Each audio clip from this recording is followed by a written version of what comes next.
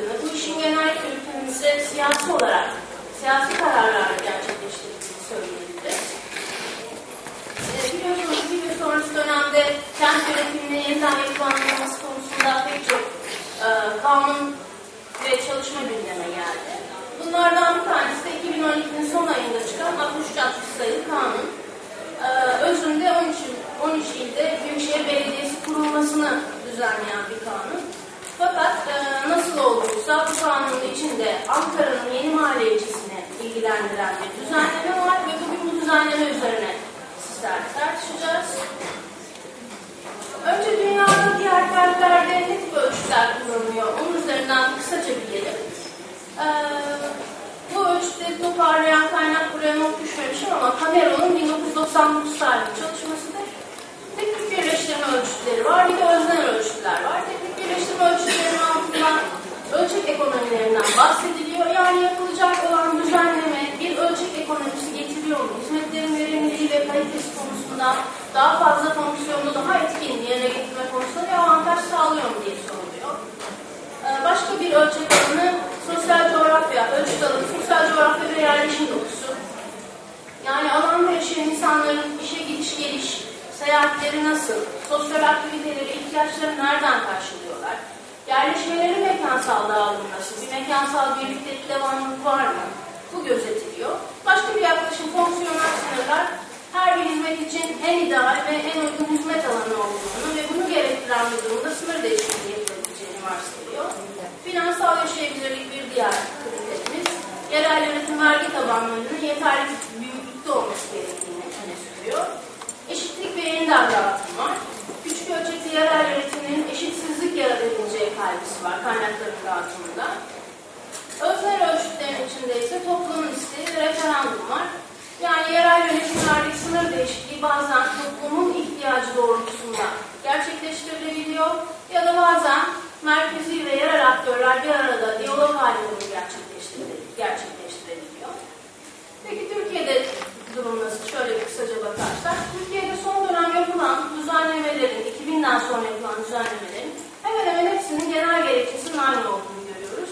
Demokratik, katılımcı, özerk, etkin ve verimli yönetim gerçekleştirilmesi.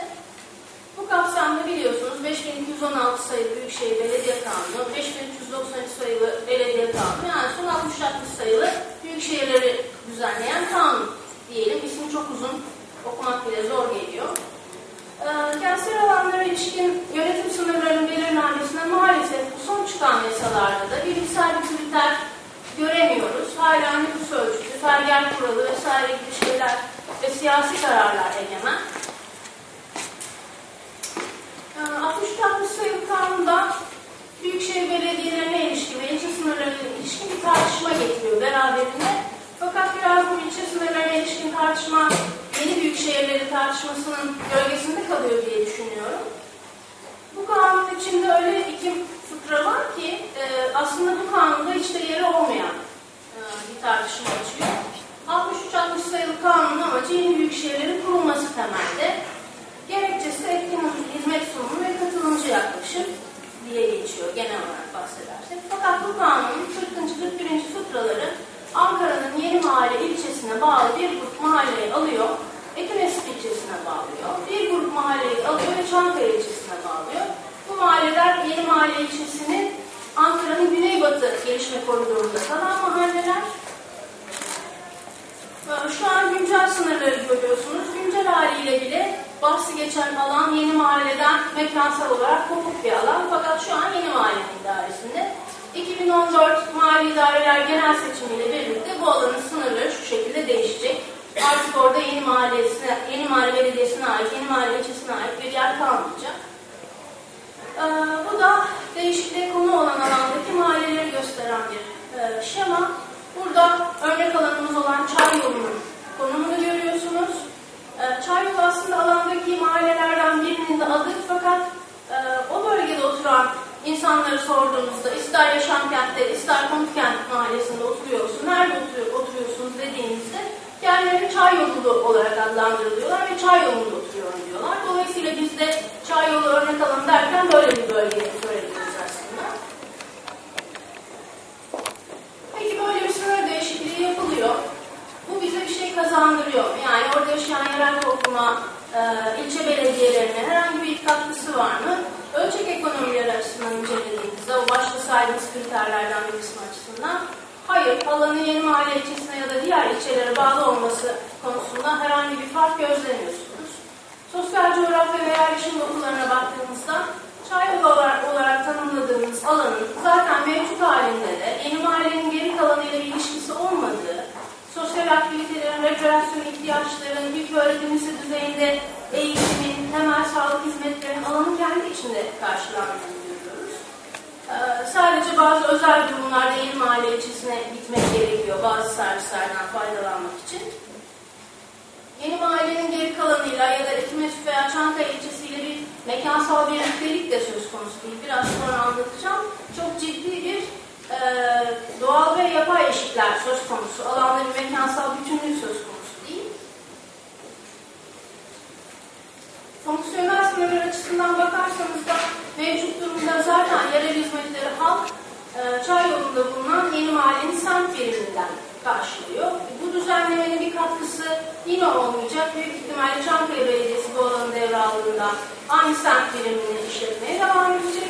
Etimesgut Belediyesi alanın geri kalan çevre dışında kalan kısmını ele aldığında e, bu sefer orada bir semt birimi kurma ihtiyacı duyacak ya da insanlar Etimesgut'a kadar seyahat etmek durumunda kalacaklar hizmetler için.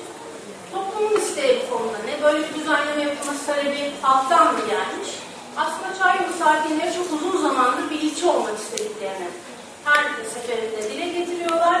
Ee, sınır değişikliği sonrasında da ciddi muhalefet göstermişler. Ee, ve e, ilçe e, muhalefet milletvekilleri tarafı, biri tarafından buranın ilçe olmasına dair Meclisi'ne bir e, tasarı sunuluyor. CHP'nin Anayasa Mahkemesi'ne bu kanun fıkralarının da kapsandığı e, itiraz dilekçesi var fakat dava olumsuz sonuçlanıyor. Yani 2014 Mali İdareler Genel Seçiminden itibaren Çayyolu semtinde yaşayanlar artık Çankaya e, Belediyesi için oy kullanacaklar gibi bir durum söz konusu planlama ve gelişme açısından bir katkısı var mı diye baktığımızda e, yine bir farklılık göremiyorsunuz. Yani Alanka Yeni Mahalle ilçesine bağlı Haitirefit'e ya da Çankaya. Bu ilçelerden hiçbiri Halka Yeni Mahalle'nin olduğundan daha yakın değil. Yani düzeyde bir değişiklik yok. Alanın yerel, mekansal ve toplumsal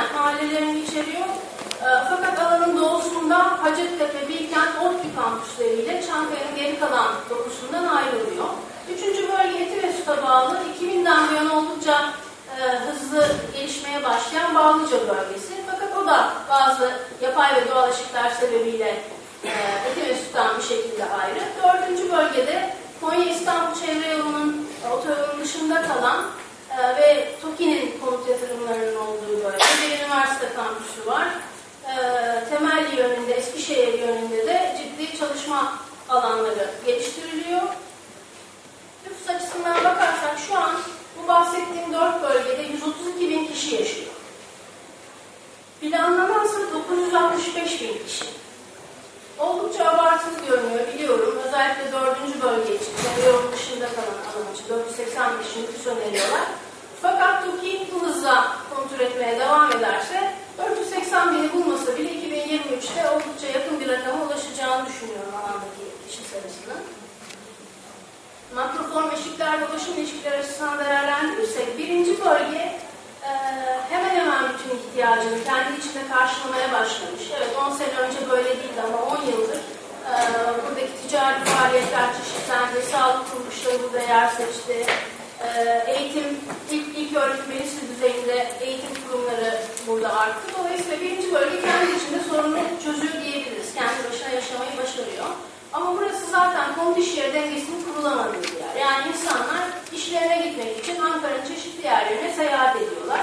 E, yapılan düzenleme ve sınır değişikliği de bunu çözmüyor. Yani e, bu alanı alıp başka bir ilçeye bağlamak bu sorunu çözmüyor. Doğrusu. E, ikinci bölgeye baktığımızda ikinci bölgeden konut alanı ve birinci bölgeyle çok ciddi ulaşım ilişkileri var. Eşikler var demiştik. Bu alanın doğusunda Hacettepe'nin kampüsü var, Beytepe kampüsü var.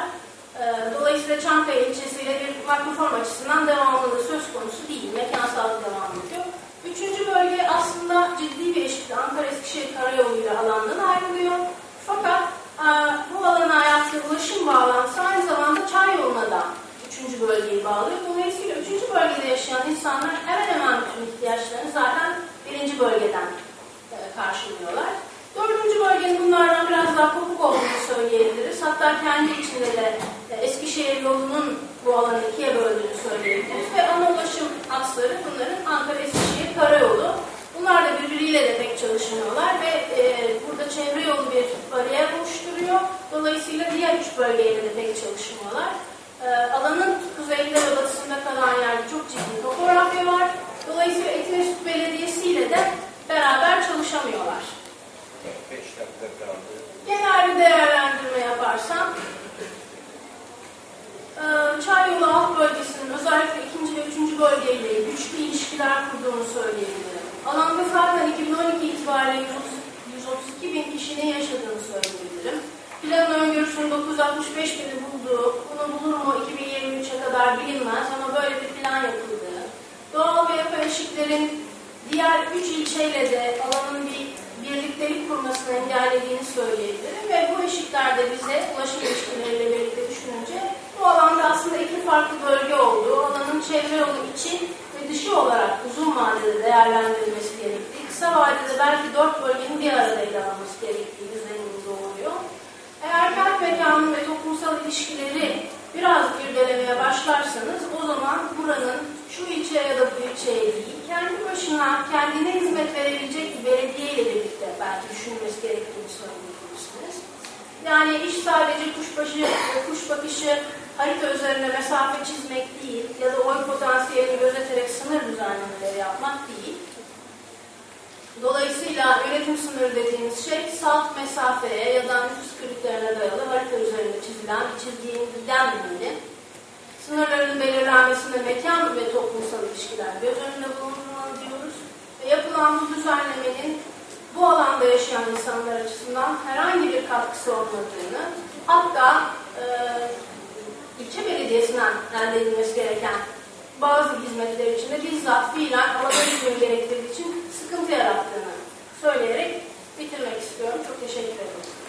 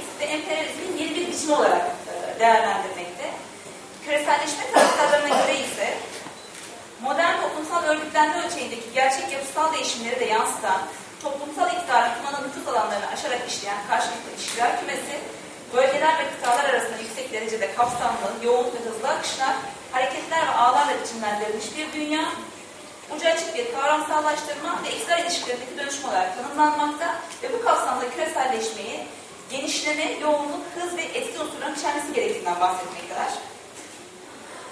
Küreselleşme sürecinin teknolojik gelişmenin kaçınılmaz bir sonucu olarak görülmesinin arkasında iki teori yatmakta. Birincisi kaçınılmaz olarak yeni yapıyla nasıl eklemlenebileceği konusu, diğeri ise direnip dışında kalmanın yanında bu süreçten kazananların yararı alacağı konusudur. Ee, bu bağlamda küreselleşme süreciyle birlikte yerelleşme süreci içe geçmiş iki kavram olarak e, öne çıkmakta. Küreselleşme süreci ulus, ulusal e, devlet sınırlarını aşındırırken e, yerel birimleri ön plana çıkarmakta ve böyle bir değerlendirmede iki boyutu e, yer almakta. Kentlerin küresel kentler aralığıyla eklemlenmesi ve yerel demokrasinin güçlendirilmesi. Yerelleşme ile demokratikleşme arasındaki olumlu ilişki e, şu şekilde açıklanabilir. Politik gücün yerel birimlere aktarılması e, ve halka yakınlıkla birlikte yerel yönetiminin etkin, verimli hizmet sunumu ve halk katılımının sağlanması şeklinde. Ancak liberal çoğulcu devlet kuramının anlayışlı ve yanıltıcı olduğu söylenebilir.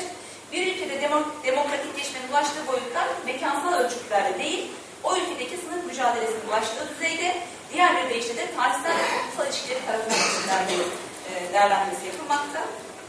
E, ulusal ölçekte olduğu gibi yerel ölçekte de e, iktidar çevresindeki ekonomik, e, toplumsal ve kültürel e, güç merkezlerinin katılıcı ve demokratik olmayan bir e, gelişmeyi yerel merkezde oluşturabileceği e, söylenebilir. Günümüzde gelinen e, süreç eğer küreselleşme yeni, kaçınılmaz ve geri döndürülmez bir süreç ise bu böyle bir yaklaşım teslimiyeti ve kabullenmeyi gerektirir. Ancak eleştirel bir küreselleşme çözümlemesinin e, olgunun kapitalist sermaye birikim süreçleriyle ilişkilendirilip bu çerçevede kazananlar ve kaybedenler olan bir süreç olarak tanımlanması gerekir. Bu bağlamda e, e, yapacağımız çıkarımlar e, yaşanan sürecin küreselleşme değil sermaye uluslararasılaşması olarak e, öne çıktı. Ulus devletlerini korumakta ancak yapısal değişime uğramakta, e, küreselleşme sürecinde iktisadi ve siyasi alanın birbirinden ayrılmakta olduğu, e, sermaye kendi sınırları içerisinde rahatça hareket edebilirken ulus devletler kendi teritoryal sınırlar içerisinde kaldı. E, ulusal devletler değişime uğrarken de bu değişimde devlet içinde özel yapıların oluştuğu, uzmanlaşmış ekonomik aygıt altında yeni, aygıt adı altında yeni yapıların oluştuğu, devletin yönetim biçiminin değiştiği, yeni bir merkezleşme ve bölgeselleşme sürecinin yaşandığı, e, bu anlamda da devletin ekonomik ve toplumsal yaşama müdahale aracı olarak planlamada da değişim yaşandığı şeklinde e, özetlenebilir. Devletin yönetim biçimindeki değişim kapsamını e, konusunda irdelemek istedim. E, bu kapsamda özellikle kamu yönetimleri ve siyaset felsefecilerin yaklaşımıyla konu değerlendirildiğinde yönetim ya da kamu yönetimi insan toplumların ekonomik ve toplumsal örgütlenme tarzı, siyaset kavramı ise e, yönetim ilkeleri ve iktidarın kaynağını ortaya koyarken yönetim bu ilkelerinde maddi zeminini oluşturan ekonomik ve toplumsal yapının örgütlenme tarzının kendisidir. Kamu yönetiminde inceleme konusu ekonomik ve toplumsal örgütlenme tarzının en üstünde olan devlettir. Bu bağlamda bürokrasi de devletin e, ekonomik ve toplumsal yaşama sistemli ve planlı müdahalesi olarak değerlendirilir. E, bürokrasi e, olgusunun arkasında Weber e, paradigması yer alır. Bu anlamda da bürokrasi ekonomik ve toplumsal ihtiyaçların karşılanabilmesi amacıyla araçların bir araya getirildiği, önceden belirlenmiş kurallar çerçevesinde düzenlemelerin yapıldığı, bütün ekonomik ve toplumsal yaşamı kapsayan özellikler içeren bir yönetim biçimidir. E, bürokrasi e, olgusunun içerisinde özel sektör, sivil toplum kuruluşları bu sürece dolaylı olarak katkıda bulunurlar. E, bürokrasinin özelliklerini kamu merkezli hiyerarşik bir yapı, merkezi sistem, çalışanların e, idare ve hukuki açıdan denetime tabi olma, çalışanların kariyer ve liyakat iste, e, istemini sistemine göre konumlanması ve doğrudan e, devletin doğrudan kamusal mal ve hizmet e, üretimine girmesi şeklindedir. Güçlü bir merkezi devlete ihtiyaç vardır ve ulusal planlama söz konusudur. Esasında kamu hizmeti fikri, işleyişi vergilendirme, uygulama aracı ise planlamadır. Ee, bu anlamda da örgütsel düzlemde bürokrasiden artık yeni bir yapı işleyişe doğru geçiş yaşanmakta küreselleşme süreciyle birlikte neo-Weberyen bürokrasiye doğru geçiştir. Ee, bu anlamda da neo-Weberyen örgüt tipi performans ve rekabet çerçevesinde küresel, küresel kapitalizm koşullarına göre ortaya çıkmış bir yaklaşımdır. biçimi artık değişmekte, neoliberal e, bürokrasiye göre yönetişim kavramı ön plana çıkmaktadır. Yönetişim ile küreselleşmenin zorunlu olduğu düşüncesinden hareketle, bu önemli bir e, durum, küreselleşen dünyaya uygun bir iktidar tarzı, yeni bir devlet anlayışı, yeni bir yönetim üslubu geliştirmek hedeflenmiştir. E, hepimizin genel olarak bildiği yönetim kavramı çok e, konuşulan, bilinen bir kavram. E, 90'larda Dünya Bankası'nın gündeme getirdi, daha az yönetim, minimal devlet e, yaklaşımları birlikte çıktı. Sonrasında devletin yönlendiriciliğiyle daha çok uygulanmaya başlayan bir kavramdır. Yönetişimde kamu harcamalarını kısıtlama, kamu personeli, personelini azaltma, kamu harcamalarını özel sektör eliyle görme ve özelleştirme uygulamaları yer almakta. Ve e, temel olarak da devletin piyasalaştırılması, devletin toplumla aktörler arasında piyasa mantığıyla ilişkilendirilmesidir. Yönetişim anlayışına göre devlet gücü devlet dışı aktörlerle paylaşacaktır ve devlet sivil toplum ve özel sektör merkezli üçlü karar yapısında vatandaşın sürece katılımını sağlayacaktır. Ee, sivil toplum ön plana çıkar, çıkaran yönetim biçimini devlet kendisi yapmaktan ziyade toplumdaki aktörleri yapabilir kılan bir devlettir. Ee, Tekeri bu konuda da siyasal ekonomik gücün daha yaygın dağılımı, toplumu yönlendirmede sorumluluk dengesinin devletten sivil topluma doğru kaydığını e, söylemekte ve bununla birlikte yerelleşme konusunda ön plana çıkarmakta. Ancak Güler bu konuyu yönetişim bir yönetim üslubu ya da bir katılım süreci değil, kamu kudretinin doğrudan sermaye teslim edildiği bir iktidar biçimi olarak tanımlamakta. Ee, bu bağlamda yönetişimci yönetim biçiminde bir kalkınma politikasının varlığından bahsedilemez. Ee, yönetişim, ekonomik ve toplumsal işlevlerden arındırılması, kendi kendine işleyen bir piyasa ekonomisi ve kendini düzenlemek tek yetkili olan sivil toplum anlayışını anlatmakta. Ee, ve piyasa müdahalesini piyasa lehine sınırlandıran bir devlet e, biçimi e, yer almaktadır bu kapsamda. Devlet artık hizmet sağlayıcı özelliğinden e, sıyrılarak hizmetlerin sunduğu piyasaya bırakılmakta. Ve yönetişimci yöne, e, modelde kamu hizmeti kavramı piyasa sistemine bağlı meta haline gelirken vergilendirmeden fiyatlandırmaya giden bir süreç söz konusu kamu hizmetleri sağlanmasında. Baktığımızda yönetişimle birlikte öne çıkan kavramlar özelleştirme ve yerelleşme kavramları. E, yerelleşme çok çok tartıştığımız bir konu e, burada. Devlet yönetiminde otoritenin dağılması sonucunda merkezi yönetimlerden taşra yönetimlerine, özel kamu kurumlarına, yerel yönetimlere ve sivil toplum örgütlerine yetki, görev e, ve kaynak aktarımı yapılarak karar verme düzeyinde planlamada ve kamu gelirlerinin yönetilmesi, yönetilmesinde yaşanan bir değişim süreci olarak tanımlanmakta. Ve e, bürokratik devletten yönetişimci devlete geçiş yaşanırken kalkınmacı, müdahale edici, üretim odaklı, kamusal alan merkezli, merkezi kontrol olan, yurttaş odaklı, güvenceli istihdam, doğrudan yönetimden, büyüme esaslı, düzenleyici, tüketici odaklı, sivil toplum merkezli, yerelleşme temelli, müşteri odaklı, esnek istihdam, denetim azalması gibi özellikleri barındırdığı görülmekte yönetişme. Ee, bu kapsamda öne çıkan bir takım kavramları var yönetişimin. Proje ilkeleri, düzenleyicilik, katılımcılık, saydamlık, hesap verebilirlik, esneklik, etkenlik, yetkileri ve yerelleşme ile uyumlu tabii stratejik planlama anlayışı. Ee, bu bağlamda yine planlama anlayışındaki değişimi, iktisadi planlama anlayışındaki değişim ve mekan planlama anlayışındaki değişimi iki ana başlık altında toplamak istedim.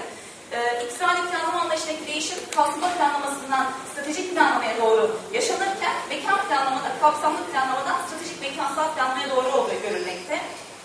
Kapsamlı planlamada e, 50'lerin e, kalkınma planlaması yerine artık 80 pardon planlamanın temel görevi ekonomik ve toplumsal gelişmenin istikrarlı bir şekilde sağlanması.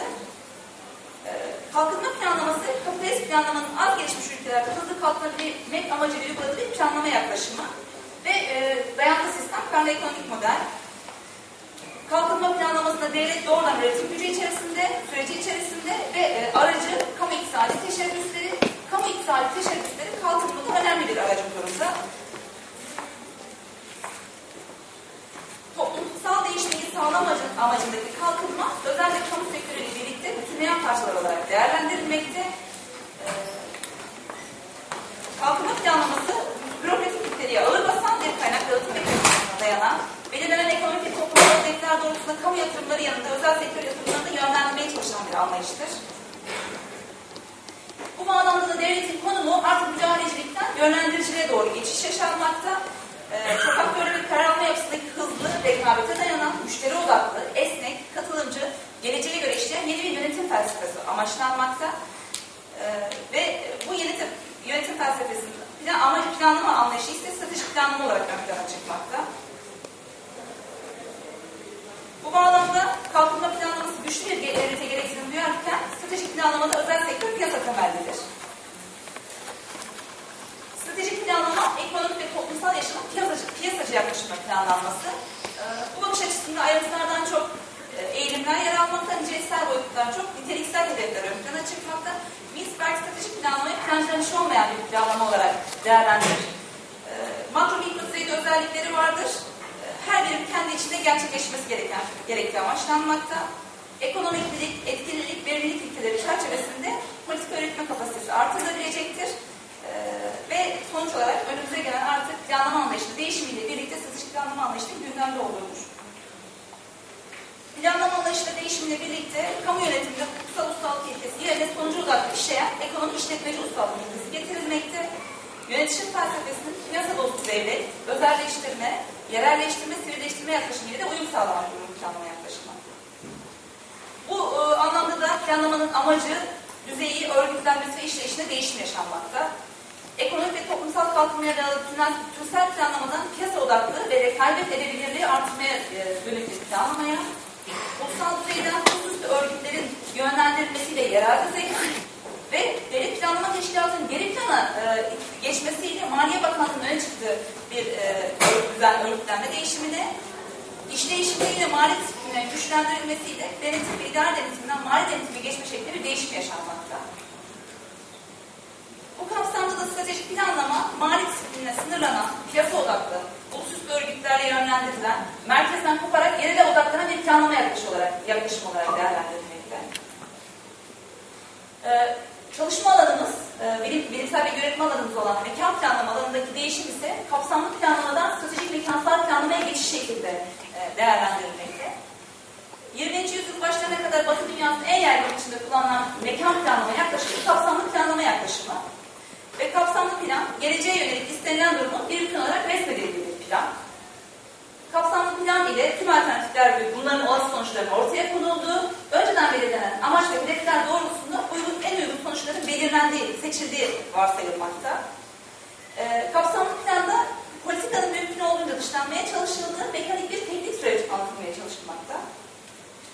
Özellikleri kapsamlı, genel ve uzun erimli olması, yerleşmenin bütününde fiziksel gelişimi etkileyen tüm işlevsel unsurları kapsaması, planın siyasal önerilerinin yerleşmenin bütününe yönelik olarak geliştirilmesi, e, güncel sorunları çözüm araması ötesinde 15-20 yıllık bir dönemdeki gelişimin dönüşümü öngörebilmesi, yerleşmenin fiziksel gelişime odaklanması, bunu toplumun hedefleriyle toplumsal ve ekonomik siyasal uyum, uyumu olarak yapması beklenir.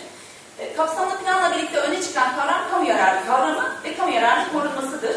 Kapsamlı plan yaklaşımında kamu yararının korunmasının gözeticileri olarak şehir plancıları, e, fiziki plancılar e, üzerinde durulmakta, öne çıkmaktadır. Birbirini izleyen bir süreçleri var. Amaç ve hedeflerin tespiti, amaçları gerçekleştirmeye yönelik alternatiflerin tespiti, her alternatifin neden alacağı sonuçların belirlenmesi, karşı, alternatiflerin karşılıklı değerlendirilmesi, ara- bunlar arasından bir seçim yapılması, uygulama aşaması uygulama yönelik geri besleme sürecidir. Kapsamlı planlama yaklaşımı- e, yukarıdan aşağıya e, tanımlanan bir niteliğe sahiptir ve Weber paradigması içerisinde değerlendirilir. Bu bağlamda da bürokrasinin planlama anlayışı olarak değerlendirilmekte.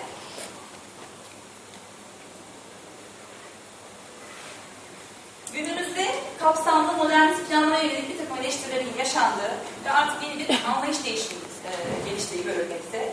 Bu bağlamda e, modernist planlama anlayışının yerel topluluklarına taleplerine cevap veremediği, demokratik ve katılımcı müzakereleri yine yönetemediği şekilde eleştirilere uğramakta ve bununla birlikte e, bir takım değişmeler, gelişmeler, 90'larda yaşanan kentler, kent bölgeler e, ve bölgelerin re- revaçta olması, stratejik yaklaşımlar, çerçeveler ve perspektiflerin yaklaşımının ön plana çıkmasıyla birlikte planlama anlayışındaki bir değişimden söz edilebilir. Ee, Tekeri bu değişim sürecinin arkasındaki dinamikleri şu şekilde değerlendiriyor. Sanayi toplumundan bilgi toplumuna, e, forkist üretimden esnek üretime, e, ulus devletler dünyasından küreselleşen dünyaya, modernist düşünceden postmodernist düşünceye geçişin arkasında artık demokrasinin katılımcı, çoğulcu gibi temeleriyle birlikte değerlendirildiği, toplumu yönlendirmede sorumluluk e, dengesinin artık sivil top, devletten sivil topluma doğru kaydığı şekilde. Ee, yeni yaşam planlama kültürü yönetişimi genel olarak e, yönetişimi e, dikkate alan bir faaliyet olarak görülmekte. Bu anlamda da toplumun uzun erimli kaygıların esas yönlendiricisi artık stratejik mekansal planlar olarak öne çıkmakta.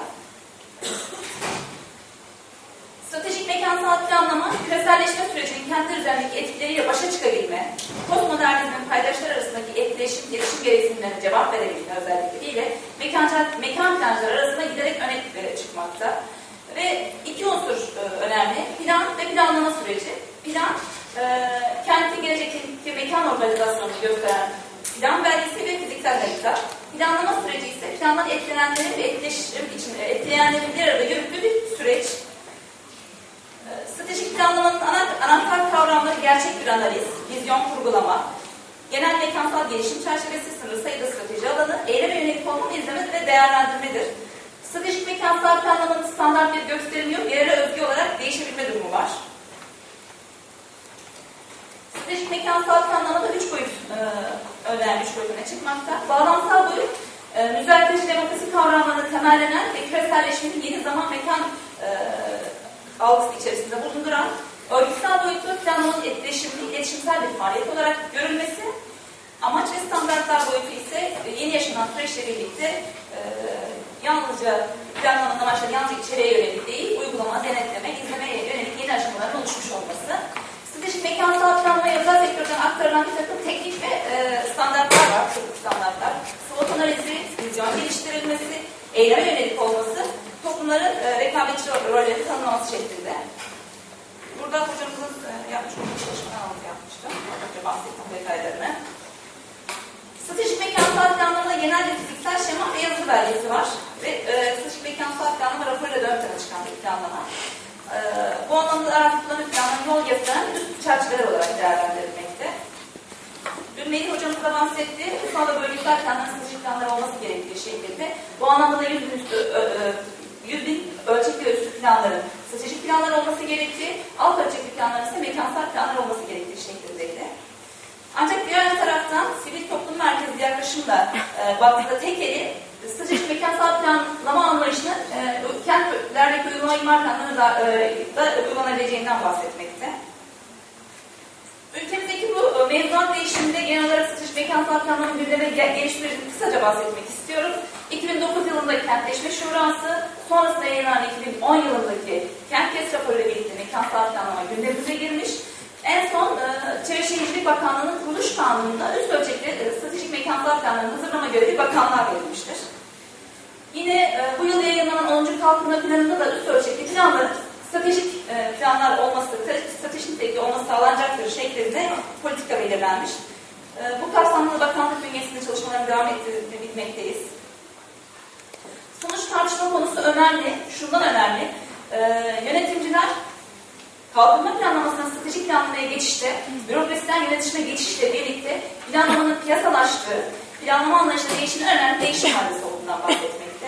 Bu değişimde devletin karar verme gücü ulusüstü niteliği kazanırken planlamanın yerelleştiği, kamu kaynaklarının kullanımında stratejik önceliklerin yer aldığı, etkinliğin önemli olduğu, performans boyutuyla denetlenebilen, piyasa odaklı işleyişe sahip bir planlama anlayışına geçildiği, ee, yönetişim felsefesinin piyasa dostu devlet, özelleştirme, yerelleştirme, sivilleştirme yaklaşımlarıyla uyumlu olduğu, e, yönetişimin piyasayı planlamayı tercih ettiği şekilde e, değerlendirmekteler ve planlamanın piyasa sistemine duyarlı bir çerçevede hazırlanması gerektiğinden bahsetmekteler. Son bir iki söz. Bitiyor hocam. Size iki plancıların değerlendirmesi zaten tartışmayla bırakmak istiyorum. Çünkü açıkçası benim de netlik kazanamadığım bir durum.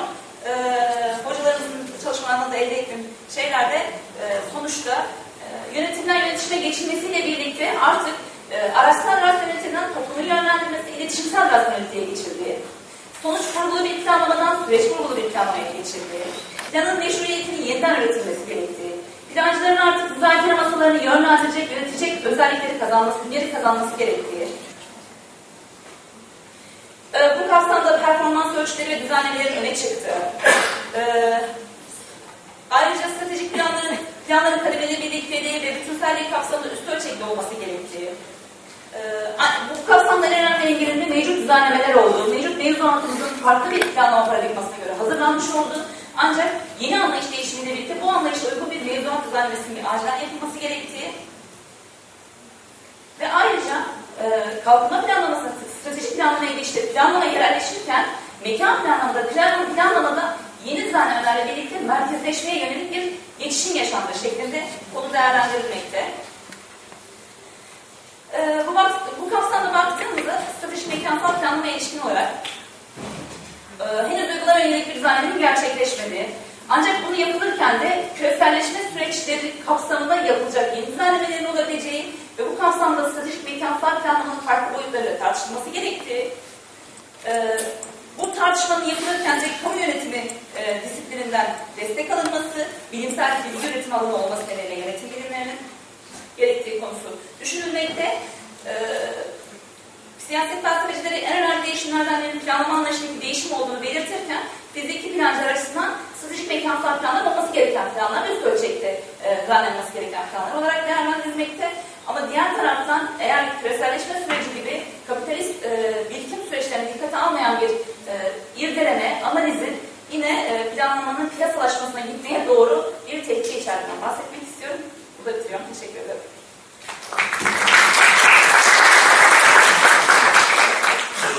Neslihan Hanım'a teşekkür ediyoruz. İki dakika borcu var. Diğer arkadaşlara nasıl öder bilmiyorum. Ama işte küreselleşmeden başlayınca uygulama planına inmek biraz zaman alıyor biz. Peki, e, üçüncü e, konuşmacımız Trakya Üniversitesi'nden araştırma görevlisi doktor Sayın Gökhan Zeynep. E, Gökhan Bey bize her yer büyük şehir, her hizmet etkin ve verimli bir ünlem işareti var. Devamında da 6360 sayılı kanuna yönelik eleştirel bir bakış, bir yaklaşım adı altında bildirisini sunacaklar. Buyurun. Ee, Değerli meslektaşlarım, katılımcı arkadaşlar, şimdi ben e, tabii bu kamu yönetici olarak farklı bir gözle bakacağım. Aslında yapacağım şey birinci oturumdaki Burcu Hoca'nın yaptığı açılıma biraz idari ekler yaparak yani ileriye dönük tahminlerle ve diğer kentsel karşılaştırmalı modellerle bu anlayışı değerlendirmek ya da bir yere oturtmak. Şimdi çalışmaya başlarkenki amacım bu düzenlemenin neden yapıldığı ya da burada böyle bir e, dünyada böyle bir model olduğu, nerede olduğu, nasıl uygulandığı gibi sahiplerle hareket etmiştim. Şimdi e, kanun ismi evet çok uzun. Yalnız o uzunluğa bir uzunluk daha ekleniyor ve 6447 sayılı kanunla Ordu'da büyük şehirlerimizin arasında katılıyor. Şimdi e, yalnız bu kanun aynı zamanda bir e, kanundan öte bir idari reform. Ve bu idari reformun sonuçları şu anda değil, bundan iki yıl sonra ve muhtemelen 39. kolokyumda daha sert tartışmalara sebep olacak. Şimdi kanun ilk çıktığı zaman da e, reform niteliğinde de olduğu için bir adlandırma sorunu yaşandı kanun. Farklı çevreler, farklı bakış açılarıyla ya da o toplandıkları yerlerde farklı bir takım isimler verdiler. Şimdi kanuna bütün şehir kanunu dendi, eyalet yasası dendi, bölgesel yönetim yasası dendi. Ancak üzerinde birleşilen şey anlayışı bunun bir merkeziyetçi yerelleşme ya da vesayetçi bir yerelleşme olduğuydu. Şimdi düşündüğünüzde merkez ve yerelleşme yani oksimoron birbiriyle çatışan kavramlar aslında bunlar. Nasıl adlandırılır, nasıl böyle bir isim takılır gibi bir sorun insanda uyandırılıyor değil. E, fakat e, aynı zamanda yani kanunun yapısında yine yönetişim, e, planlama, koordinasyon bilhassa kanun amentüsü olan ölçek ekonomisi vurgulandıktan sonra bütün yetkilerin yerelde merkeze yani yereldeki bir krallık oluşturmak gibi yorumlar yapıldığı oldu. Şimdi e, peki neden merkeziyetçi yerelleşme? Nasıl merkez ve yerel? Büyük şehirlerde il sınırları, mülki sınırlar, ilgili sınırlar belediyenin hizmet alanı örtüşme sınırları değil, tamamıyla örtüşmeye başladı. Daha önce işte pergel düzenleme dediğimiz son düzenlemeyle 10 kilometre çap, 20, 30, 50 kilometre yarı çaplı bir takım düzenlemeler vardı yetki alanına ilgili. Şimdi ise bütün ildeki tamamen her şeyden büyük şey sorumlu oldu. Peki bunun yerleşim alanlarındaki etkisi nedir dediğimizde yine şöyle bir anlayış çıkıyor ortaya ki yerleşim öbeği yönetiminden alansal yönetime bir geçiş oluyor. Yani bir belediye artık bir alanı yönetecek. Bir yerleşim öbeğini yönetmeyecek. Tabii ki büyük şehirler için söz konusu. Ve bu gerçekleşeceği için de e, mücavir alan kavramı kalmıyor artık. Peki bu büyük şehir ya da bütün şehir diyelim. Yeni bir fikir mi? Yeni bir fikir değil. Şimdi bunun bir uygulaması 1999-2004 yılları arasında Denizli ili Merkez Belediye Başkanı Ali Aygören ile ideal literatürümüze giriyor. Nasıl giriyor? Onun fikri 14 belde belediyesini Denizli ilinde merkez ilçeye bağlayarak geniş alanda hizmet sunmak, ölçek. Ancak bu şekilde de Denizli'de sürekli büyük şehir olma isteği var ve buna da nüfus yönünden bir katkı yaparak belki 500 bini zorlarız. Belki bir tasarıyla e, 500 binlik geçiririz, e, 750 bini buluruz gibi sürekli bir istek var. Bu çıkış noktasıyla 2003 yılından itibaren Denizli Milletvekilleri tarafından 50 belediye ve köy Denizli Belediyesi'ne mahalle olarak bağlamayı öngören bir teklif meclise sunuluyor. Cumhurbaşkanı tarafından veto ediliyor. Ancak veto gerekçeleri içerisinde kanunun e, yerindenliğinden çok seçimlerin çok yaklaşmış olması belli düzenlemelerin yapılamayacağından dolayı tali bir nedenden dolayı kanun veto ediliyor. Yani kanunun e, gerekçeler üzerinde durulmuyor.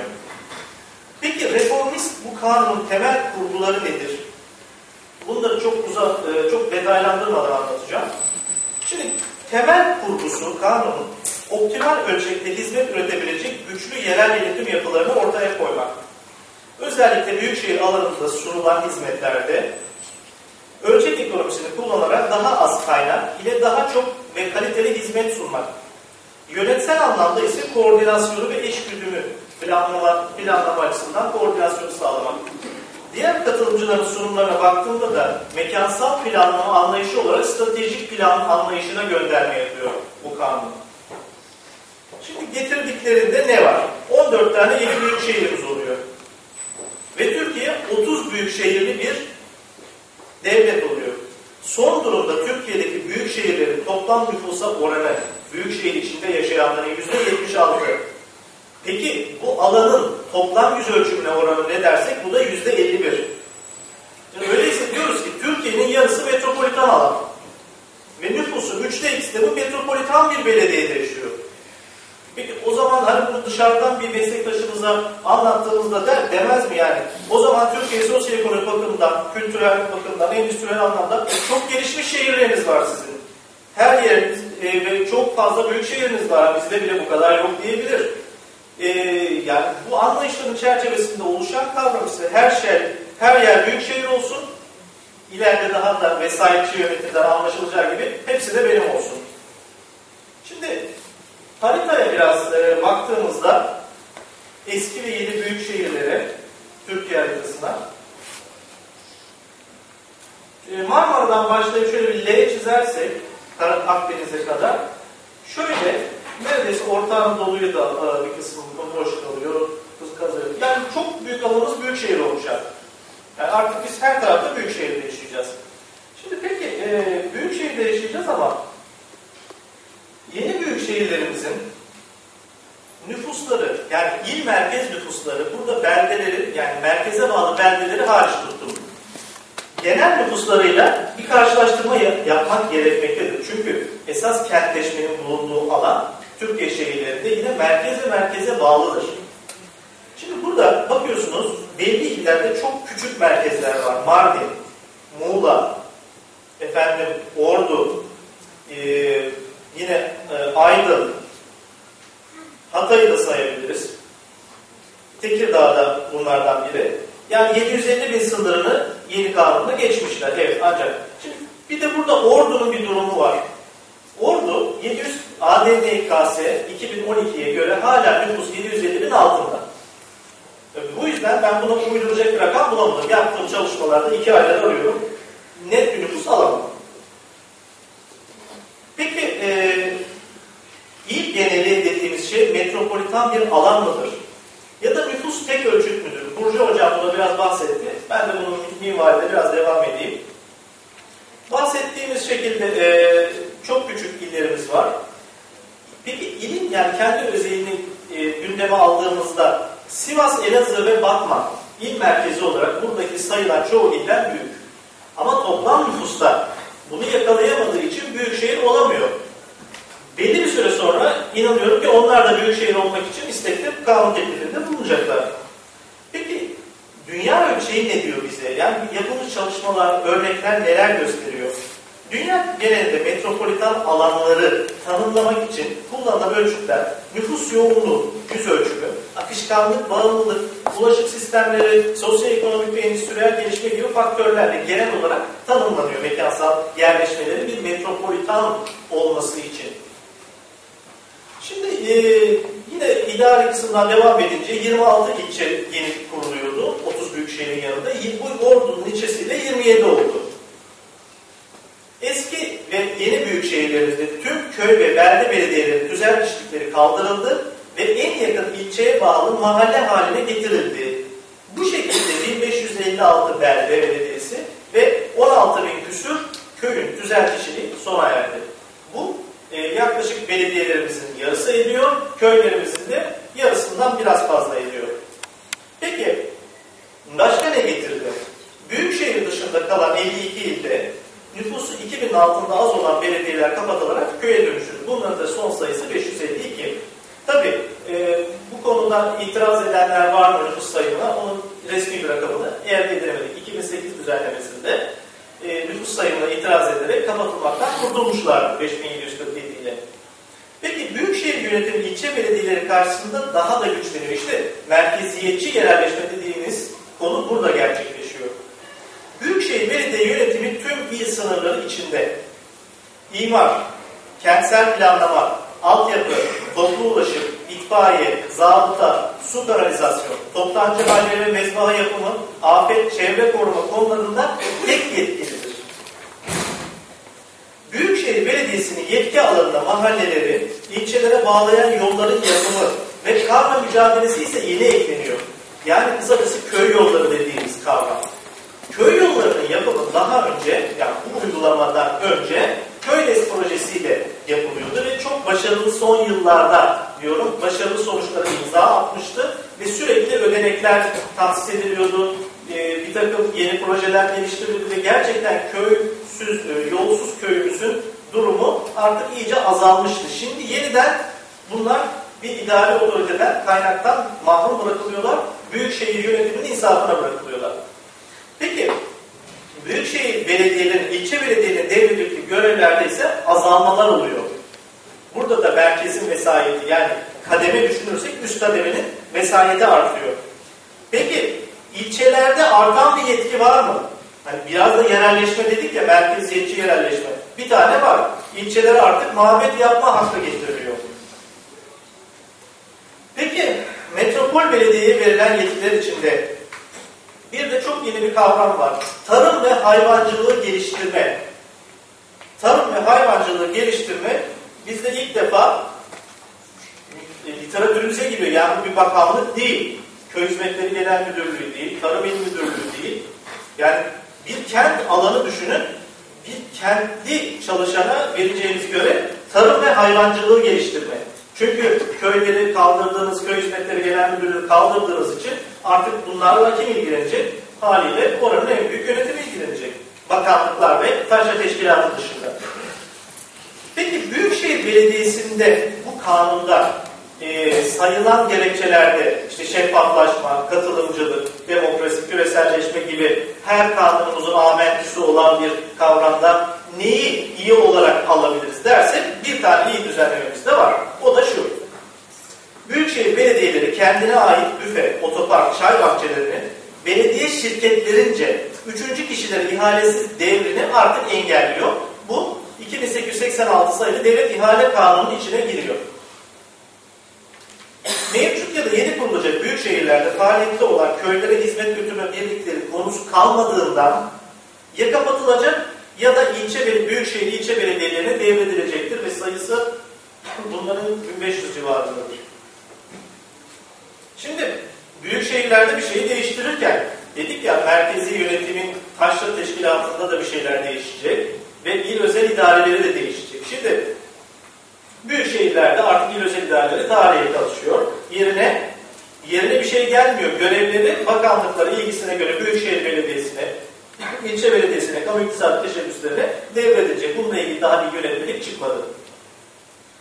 Şimdi il özel idareleri kaldırılıyor ancak bu 150 yıllık özel idareler bu kadar çabuk mu kaldırılmalıydı? Özel idarelerin etkinsizliğine yönelik birçok çalışma bulunmaktadır. Özür.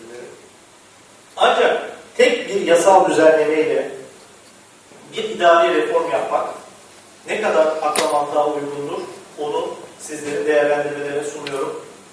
Ayrıca bizde bir e, kanunların yapılmasıyla, reformlarla ilgili düzenleyici etki analizi diye bir kavramımız da oldu. 2004 yılında yönetmeliği yapıldı. Ama maşallah bu konuda yapılan şu kanunda şu analizlere dayanık yapılan diye bir şey görmedik.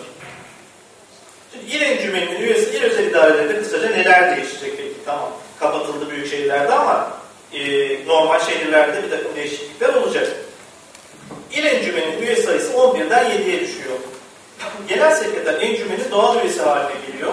Mali hizmetler birim amirinin doğal üyeliği sona eriyor. İl Genel Meclisi'nin encümene seçeceği üye sayısı 5'ten 3'e, valinin seçeceği 5'ten 2'ye düşüyor. Yani kısacası merkezi yönetimin atadığı üye sayısı değişmiyor. Yine ağırlıkta farklı 4'e 3 oluyor. Fakat burada yine bazı şeyler var detay olarak. Büyük bütçenin kesinleşmesi, kesinleşmemesi halinde İçişleri Bakanlığı Danıştay'a bildirimde bulunuyordu eskiden. Danıştay bu yolda İl Genel Meclisi'ni pes edebiliyor. Artık bu kaldırılıyor. Bunun yerine yeni düzenlemede bakanlığın bütçenin kesinleşmemesi halinde Danıştay'a bildirimde bulunma zorunluluğu kalkıyor. Bu durumda İl Genel Meclisi'nin bilhassa bütçe hakkı üzerinde bir kanunilik denetiminden yoksun hale getirilebileceği yorumuna ulaşılabilir. Peki. E, maden kanunuyla ilgili bir takım düzenlemeler il özel idaresine aitken ki e, jeotermal kaynaklı sular, doğal mineralli sular gibi konularda ki maden çok büyük bir sorundur. Çevre felaketine yemek olan taş ocaklarının açılması daha önce bir genel meclis kararına bağlıyken şu anda merkezi hükümetin ajanı olan valiye verildi. Sürem azaldığı için e, daha hızlı geçeceğim. Yatırım İzleme Koordinasyon Başkanlığı nedir? Özel idareler yerine getirilen değil. Şimdi yaptığım literatür aramalarında metropol şehirlerde böyle bir şey bulamadım ben. Yani üç aydır bunu arıyorum. Böyle bir, böyle bir kuruluş yok. Bunun yerine metropollerde eğer özel idare yoksa bunun yerine gönüllü birlikler, konseyler e, ya da bölgesel kuruluşlar gibi kuruluşlar bunun görevlerini yapıyor. Kısaca görevleri şu. Valiliğe fon oluşturmak, bakanlıkların illerde yapacakları yatırımlara taşeronluk etmek, vesayet denetimine aracılık etmek. Nasıl bir vesayet denetimi? Ayrıca tuttuğu raporlar kamu kurumları hakkında direkt başbakanlığa veriliyor. Neden? En ağır vesayet yetkisi ve idare hukukunda ildeki kamu kurum ve kuruluşlarının yürütülmesi gereken yatırım hizmetleri aksadığında bu durumun halkın sağlık, huzur, esenliğini bozduğunda ilgili bakanlıkça tespit edilmesi durumunda vali uygun bir süre vererek hizmetin yatırımının gerçekleşmesini ister. Hizmet ve yatırım verilen sürede gerçekleşmesi halinde vali söz konusu yatırımın ildeki diğer kamu kuruluşlarında yerine getirilmesini ister ya da bu merkez aracılığıyla istiyor. Yani bunun tespitinde hukukilik yok. Mesela belediye kanunun 57. maddesinde bir e, mahkeme tespiti varken bu kanunda yani bu değişiklikte bunu da kaldırıyor ve Cumhuriyet tarihinde merkezi yönetimin yerel e, taşra teşkilatındaki denetiminde bu kadar ağır bir vesayet yetkisi yok. Mali değişiklikleri süren olduğu için es geçmek zorundayım. Bir takım e, paylarda artış oluyor. Ancak hasta büyüyeceği için kişi başı maliyetler kişi başı maliyetler düşmüyor. Ve e, harcama payları ileride dikkate alındığında bunların azalacağı konusu TEPAM'ın yaptığı çalışmada da ortaya çıkacak. Ee, peki kanun anayasaya aykırı mı derken aslında çok uzatmadan Anayasa Mahkemesi kararını verdi. 12.9.2013 tarihinde aykırı değildir dedi. artık e, bunun üzerine soğuk su içmek gerekiyor. Aykırı olmadığı tespit edildi. Gerekçeli karar yayınlanmadığı için bu konuda yorum yapamıyoruz. Ama işte Avrupa İran Yönetimler özellik şartına, il genel idaresi varsa il özel idaresinde olması gerektiğine yönelik yorumlar ise sadece lafta kalmış oluyor artık. Ölçek ekonomisi meselesinde e, yani çok fazla girmek istemiyorum ancak e, şu var ki bir ölçeği sadece nüfusa tespit edemeyiz. En uygun alanı. Bunda alan büyüklüğü, hizmetin yayıldığı, alan hizmetin kalitesi gibi etkenler vardır. Ve yani ölçek ekonomisi, kısaca iktisadi deyimlediğim, marjinal maliyetin ortalama maliyete eşit olduğu yerdeki noktadadır ve U şeklinde bir grafik izler. U'nun en altı optimal ölçeğin nüfus açısından gerçekleştiği durumdur. Ee, buradan sonra nüfus arttıkça optimal ölçek alanı da yavaş yavaş tüketicinin yani kendi bireyin zararına olmaya başlar. Peki e, bundan sonra e, belli metropol ölçeklerde e, yani dünyadaki metropollerde azından nüfus bakımından yani en elimizdeki somut veri o nüfus bakımından ne tür ölçekler getirilmiştir? 300 binle nüfusla başlar genellikle. Fransa'da 500 bin ölçekte nüfusta büyükşehir belediyeleri, metropoliten belediyeler kurulur. Birleşmiş Milletler tanımında bu 1 milyondur ancak bu genellikle Amerikan kentleri için oluşturulmuş bir şeydir. Peki ölçek ekonomilerinde yapılmış araştırmalar bize ne demektedir? Ee, kısaca belli büyük hizmetler, şöyle diyeyim, temel kentsel hizmeti olan yol kanalizasyonu, su şebekesi, çöplerin toplanması gibi konularda ölçeğin ne küçük ne büyük olması gerektiğini, yani 500 bin civarı bir ölçek önerir bize. Büyük ölçekli yatırımlar ise katı atık, bertaraf tesisleri, ulaşım aksları, havaalanı, metro gibi yerlerde 1 milyon 2 milyon üzerine önerirler. Genellikle yani kentlerimizde eğer ölçeği biz e, optimal ölçekte tutacaksak büyük kentler yaratmak yerine orta ölçekli kentler yaratmalıyız. Yani bu şekildeki kanunun lafzında yer alan yaklaşım yanlış gözükmektedir. Tamam zamanımız toparlarsanız. Şöyle diyelim, çok yakında yapılmış bir çalışmada Tokyo'daki Tokyo modeli bize benzemektedir. Tokyo, Paris, Madrid, Londra'da bütün il belediyeleri yetki alanındadır ili. Ölçeklerin istediği sonucu yaratmadığı konusunda bir e, yapılan ampirik çalışmada Amatsu ve Ueda bir e, şeye ulaşmışlardır sonuca. Ekonomik etkinliği sağlamadığı ilk başlarda ölçek ekonomisinin yararlarını getirdiği ancak daha sonra bunu e, sağlayamadığı konusundadır. Dünyada metropol yönetimler kısaca bir kent özeyi, alt kent ve saçaklanma şeklinde giderken Türkiye'deki yeni büyük şehirlerimizde maalesef böyle özellikler yoktur. E, modellerde ise bizdeki model dikey koordinasyonlu iki kademeli modeldir. Bunun örnekleri Türkiye, Tokyo, Madrid, Brüksel, Seul, Varşova, Zagreb, Londra'dır. Ancak bunları sayıyorum fakat bu bir mesela Fransa'da üç yerde böyledir. Yani bütün dil sınırlarıyla çakışır. E, efendim diğer ülkelerde 3-5 tanedir. Bizim gibi 30 ilde bu aynı şekilde bir uygulama yoktur. Dolayısıyla daha esnek uygulamalar farklı kentlere getirilmelidir. Ee, Köylerin e, ilişkin bir takım büyükşehir köylerine yönelik statüler verilmesi önerileri var. Metropoliten alan sınırının içiyle sınırın dışında farklı bir takım yönetsel örgütlenmeler önerileri vardır. Ee, onun dışında bu tasarının ya da tasarı değil artık kanunun neler getireceğini ise şu anda değil önümüzdeki yerel seçimlerden sonra görev aksamalarda göreceğiz.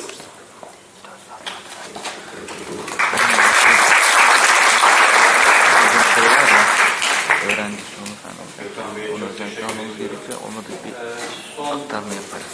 Ben diğer kartı unuttum çünkü. Benim kartım var mı? Var mı yanında? 8 Ee, GB. O bende bende. Tamam onu boşaltmıştık değil mi? Boşaltmadık mı? Tamam sen o kartı bana ver. Ben sana vermiştim geri hatırladım. Hayır onu boşalttık o. O senin kartın mıydı? İller üzerindeki yasal düzenlemeler temelinde değerlendirilmesi. Buyurun. Herkese merhaba. Ee, biz e, Sayın Hocam ve Şahin Hocam'la beraber e, bu Büyükşehir Belediyesi kazanmak gerçekten büyük şehirlerde bu belki yaratıyor mu? E, bunu da çalışmak hazırladık. E, biliyoruz ki geri dönmez şekilde büyüyen bir kentler var ve e, bu kentler normal klasik kent yönetimiyle e, değil bir ihtisaslaşma gerektiren bir alan yönetimine dönüşüyor. E, ve tabii özellikle tabii siyasi iktidar başarısının bir göstergesi bu mekanlar. E, o yüzden de tabii bu siyasi iktidar devamlı bu e, modellerle uğraşıyor, çeşitli yasalar çıkıyor. E, ve 2000'li yıllardan sonra bu yeni düzenlemeleri daha çok görüyoruz. Özellikle 2004 yılında çıkan değişim, 2016 yılı Büyükşehir Belediye Kanunu'yla sınırlarda bir değişiklik oldu. Belki Büyükşehir sayısı artmadı ama e, 2012 yılında giren, e, önce 13 gün sonra orada eklendi. E, 14 tane yeni Büyükşehir Belediyesi daha eklendi bunlara. Ve böyle bir yasal bir e, düzenlemeler e, görüyoruz. Tabii bu çalışmayla da biz bu yasal düzenlemeleri önce ele aldık. E, 1984 yılındaki, 2004'te 2012 yılındaki e, bunları iki döneme böldük. Birinci dönem ve ikinci dönem olarak. E, her bu iki dönemde 16 büyük şehir üzerinde analiz yaparak e, bu büyük şehirlerde acaba sosyoekonomik geçmiş düzey nasıl değişti? Kamu yatırımlarının e, Türkiye üzerinden aldığı oranda ne gibi değişiklikler oldu? Millet göçüzlerine baktık bunların. Özellikle kent nüfusuna baktık bunda nasıl değişimler oldu. Ve gayri safi yurtçı halkla değerler açısından da bu iki dönemde de büyük şehirleri inceledik. E, gördüğünüz gibi mantık oluşturduk. E, üstteki tablo birinci döneme ait değerlerin değişimi, alttaki ikinci döneme ilişkin. E, tabii burada en e, çarpıcı tablo bu sosyoekonomik gelişmiş endeks değişimleri. E, 1996 ve 2003 yılında Devlet Planlama Teşkilatı tarafından yapılan bir çalışma bu. E, 2011 yılında da artık Kalkınma Bakanlığı tarafından yapılmaya başlandı. E, fakat 2010 yılında da Karadeniz Teknik Üniversitesi, tarafından yapılan bir çalışma var. E, bunu üst çalışmada kullandık yine. Çünkü bu tam da bu Devlet Planlama Teşkilatı'nın yaptığı kriterler üzerinden bir e, çalışmayı, yine onları baz almıştı. Tabii durum böyle değil. Yani büyükşehir sayıları e, hepsinde de 16 tane. E, fakat ilk 1996 ve 2003 yılına bakıyoruz. E, bu düzeyde bir sosyoekonomik gelişmişlik bekledik. Fakat 6 yıl aynı düzeyde kalmış bu sıralamada. E, bunun aksine 6 yıl azalma olmuş. E, gerileme olmuş yani bu sıralama e, listesinde. E, sadece 4 yılda arttığını gördük. Yani 4 yıl basamak atlayıp e, daha hani gelişmiş diyebiliriz. 2003-2010 yılları arasında ise e, bu sefer 4 yıl aynı kalmış. Toplamda ise 7 yıl azalmış. E, 5 yılın sadece arttığını görüyoruz. Kırmızılar azalan, e, basamak gerileyen iller. E, 2010 ve 2011 yılları arasında ise e, yine sadece 4 yıl aynı kalmış. 5 yıl bir azalma olmuş. Sadece 7 yıl basamak atlamıştır. E, şimdi burada tabii şunu sormamız lazım. Böyle bir olumsuz bir tablo var ve hala büyük şehir olmak isteniyor. Ve bunun tabii çok ciddi sebepleri var. E, çünkü büyük şehir olunca ilin tamam belediye hizmet şemsiyesi altına giriyor. E, ve diyorlar ki işte sosyoekonomik gelişmişlik düzeyimizde bir artış olacak. E, beklentiler büyük tabii. Bütçeden daha fazla pay. E, belediyecilik faaliyetleri tek elden olacak. Yine yatırımların merkeze gelecek, kalkınma olacak, hızlı bir yapılanma süreci gerçekleşecek. E, iler daha çok yatırım çekecek, daha çok e, istihdam artışı olacak. E, ve diyorlar işte kentlerden dışarıdan göç almaya başlayacağız. İşte konut sayılarımız artacak, yeni merkezler oluşturulacak. E, özellikle seçmen sayısı artacak tabii. E, ve e, konut talebinin artmasıyla beraber projeler gündeme gelecek, fiyatlar artış, fiyat artışları yaşanacak. Tabii bütün olumlu isteklerin yanında yani büyük şehir olup da ciddi sorunlar yaşayanlar da var. Ee, örneğin hizmetler tek merkezden karşılanacak ama bu etkinlik azaldı. Ee, yerel hizmetlerin belirlenmesindeki sorunlara ilişkin bir takım sıkıntılar yaşandı. Çünkü hakim olamıyor e, yerel ölçekte. Ee, yine tabii büyük şey olduktan sonra genişleyen bir sınırlar var. E, bunlara hangi iş gücüyle, hangi ekipman, hangi maddi kaynaklarla hizmet edeceksiniz? Yine kentsel hizmetlerin fiyatlarında çok ciddi artışlar yaşandı e, ilçe ile merkez veli arasında yetki problemleri yaşanıyor. Dengeli bir şekilde o hizmeti aktaramıyorsunuz. E, vizyon ve proje geliştirme eksiklikleri var ve kalabalık meclislerde demokratik bir e, karar da alınamıyor. E, yıllara göre büyük şeylere baktığımızda e, 1984 yılında işte 3 ile başladık. 4 oldu, 7 oldu, 8 oldu, 15, 16 derken şimdi 30'u bulduk. E, ve hala da sorsanız yer lideri hala biz de büyük olmak istiyoruz derler. Ee, şimdi bu geniş matristen sonra biz e, illeri inceledik. İllerin detaylı grafiklerini görüyorsunuz. E, ilk satırdaki grafikler birinci döneme ilişkin yani 2004 yılı öncesindeki değişimleri anlatıyor. E, ikinci satırdaki de ise ikinci dönemi anlatıyor. E, burada hepsinin e, Türkiye'den aldıkları kamu yatırım oranını görüyoruz. Net göç hızları, gayri safi hasta değerleri ve kentleşme oranları. E, örneğin Adana'ya baktık. E, 1995 yılına kadar kamu yatırımları artmış ama e, 1986 yılında bir şey olmuştur Adana. E, ve sosyoekonomik gelişmiş endeksinde önce 9'da başlamış. 8'e yükselmiş, birden 18'e düşmüş ve en sonunda 16'ya yükselmiştir. E, yani 9'la başlayan bir sıralamada Adana şey olduktan sonra totalde 16'ya düşmüş. Yani aslında Adana için çok avantajlı bir e, tablo değil bu. E, Ankara'ya bakacak olursak, Ankara ikinci sıradayız zaten. Gayet duran bir yapısı var. E, fakat e, yatırımına baktığımız zaman e, özellikle 1984 yılından sonra Türkiye oranında azaldığını görüyoruz. E, 2010 yılından sonra sadece bir artış yaşanmış. E, başta net göç hızında gerçekten e, göç alan Ankara özellikle e, 2010 yılından sonra göç vermeye başlamış. Yani bu net göç hızı düşmüş. E, gayri safi yurt içi değerlerinde de gördüğünüz gibi düşüşler var. E, tabii kendi konumunu ikinci sırada koruduğu için Ankara için bir avantaj olarak değerlendirebiliriz. E, Antalya'ya baktığımızda 7. sırada başlamış, ona düşmüş, 7'ye tekrar çıkmış, sonra 5'e yükselmiş. Antalya için daha avantajlı bir tablo bu. E, özellikle başta çok göç alıp daha sonradan bu göç hızı belli değere düşmüş. E, kamu yatırım oranlarında da örneğin inişli çıkışlı bir grafiği varken birinci dönemde, ikinci dönemde bu yatırımların azaldığını görüyoruz. E, Bursa'ya bakacak olursak, e, Bursa bundan önceki 3 dönemde 5. sırada 6. sıraya düşmüş. E, 1987 yılında şey oldu Bursa. E, tabii kamu yatırımının oranlarının hep değişken olduğunu görüyoruz. E, ve 2005 yılından sonra da bu yatırımlar azalıyor. Oysa Bursa Büyükşehir Belediyesi. Hani kamu yatırımlarının çok fazla olmasını bekleriz. Onlar da beklediler muhtemelen. E, bu arada düştüğünü görüyoruz. Yine net göç hızında da zaman zaman artan azalan bir grafiği var Bursa'nın. E, fakat en son totalde 6. sıraya bir basamak gerilmiş. Aslında bir dezavantaj bu Bursa için. E, Diyarbakır, Diyarbakır en vahim tabloyu bize gösteriyor aslında. 57. sırada başlayan Diyarbakır, belki büyük şehir olmasaydı bunu koruyacaktı ama en sonunda totalde 67. sıraya düşmüş. Yani o basamak gerilemiş. Büyük şehir olması pek onun aleyhine olmamış. Ve bir avantaj sağlamamış Diyarbakır. E, net baktığımızda zaten ekside devam ediyor ve daha da eksi 20'lerde e, çok ciddi göç verdiğini görüyoruz. E, burada ilginç olan tabii kamu yatırımlarının ikinci dönemde artıyor olması. Aslında Türkiye'deki oranında Diyarbakır'a kamu yatırımları yapılıyor. Ama bu demek ki bir e, çözüm değil. İleride bekliyor bu bir sosyoekonomik gelişmişlik endeksinde bir yükselmeye sebep vermemiş burada.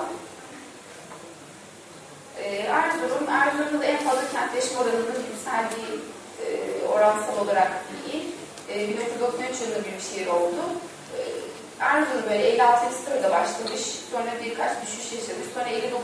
sırada bitirmiş 2012 e, çalışmasında.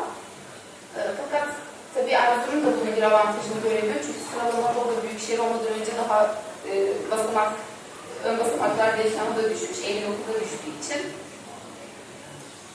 Eskişehir, e, Eskişehir hep 6. sıradayken 2010 e, 2000'li yıllardan sonra 7. nasıl basamağa düştüğünü görüyoruz.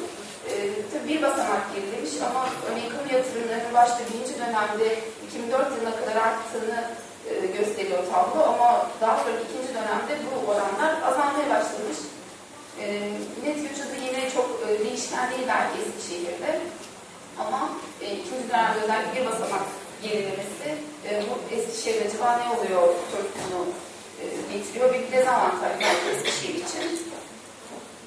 E, Gaziantep, e, Gaziantep örneğin 25. sırada başlamış. Daha sonradan son tabloda 30. sıraya, sıraya gerilemiş. E, Gaziantep 1987 yılında büyük şehir oldu.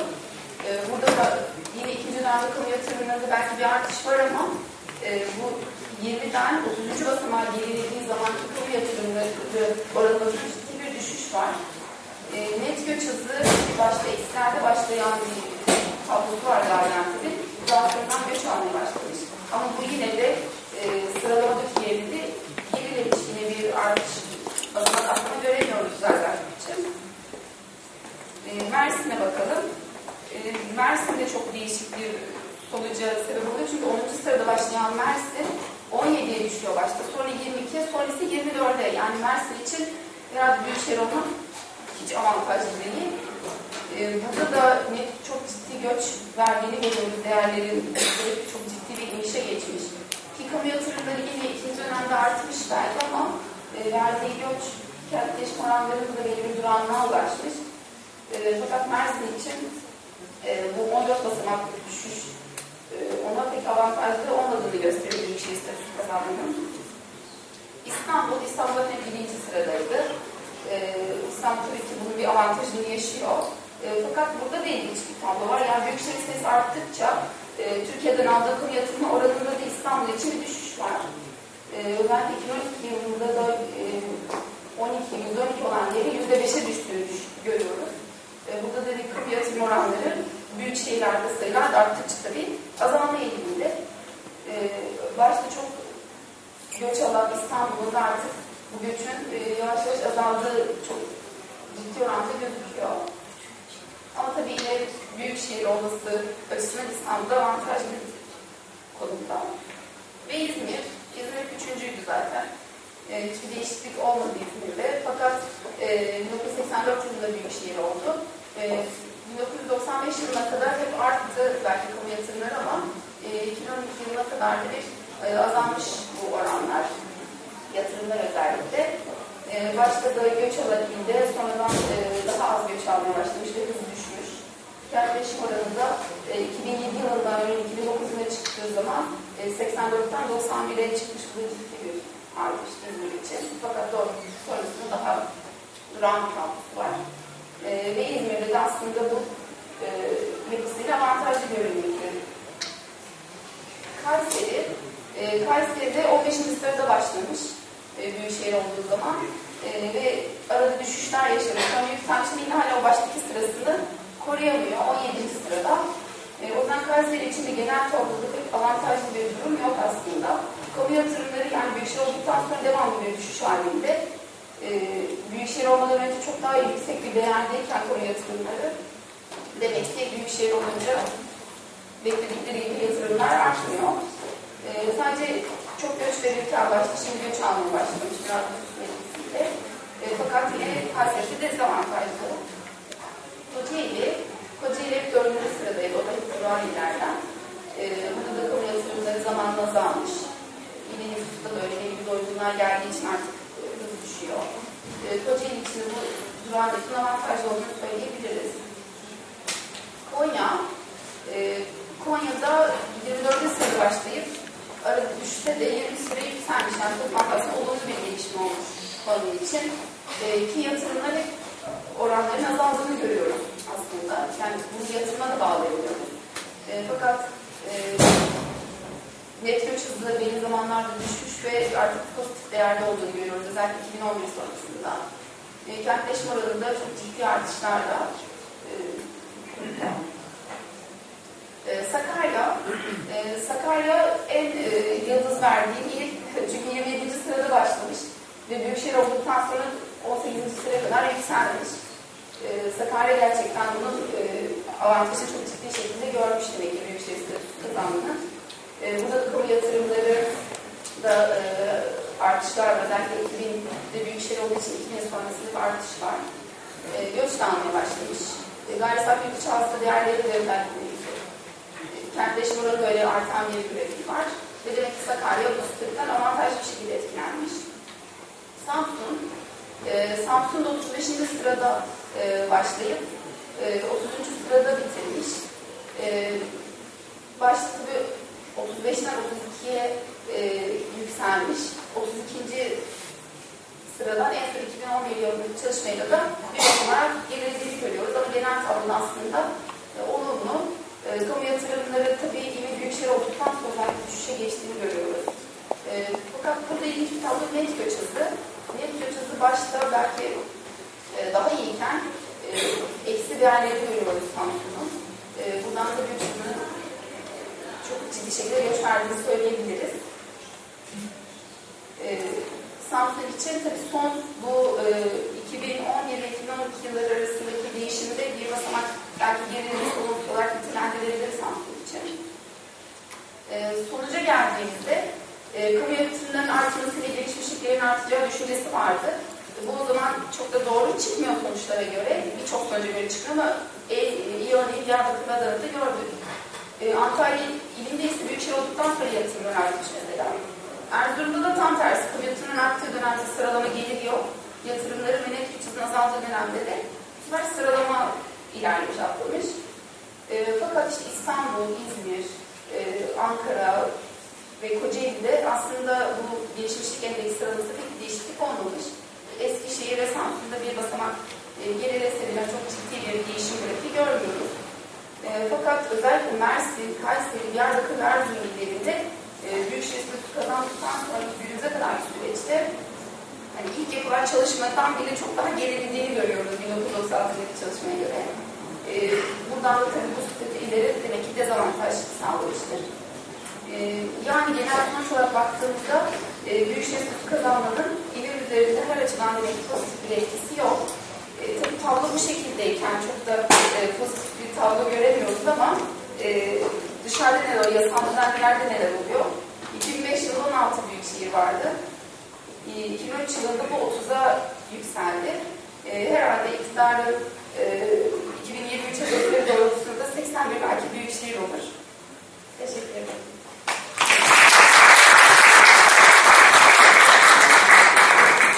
Özge Hanım'a da çok teşekkür ediyoruz. Şimdi e, dört e, bildiri sunuldu. Bildirilerin hepsi de çok e, değerliydi, çok yararlıydı. Doğrusu tüm sunan arkadaşlara ve hazırlayan e, yine e, akademisyenlere ve plancılara e, yürekten teşekkür ediyoruz. Bir e, 10 dakikamız var aslında tartışma için. Belki şöyle kısa bir hatırlatma yapayım isterseniz. Geç gelen arkadaşlar da oldu. Birinci konuşmacımız Burcu Hanım'dı. Yerel yönetimlerde sunum değişikliği üzerine farklı kuramlardan söz etti. Ve 6360 sayılı yasaki ağırlıklı olarak konuşmalarda zaten bunun üzerinde e, tartışma yoğunlaştı.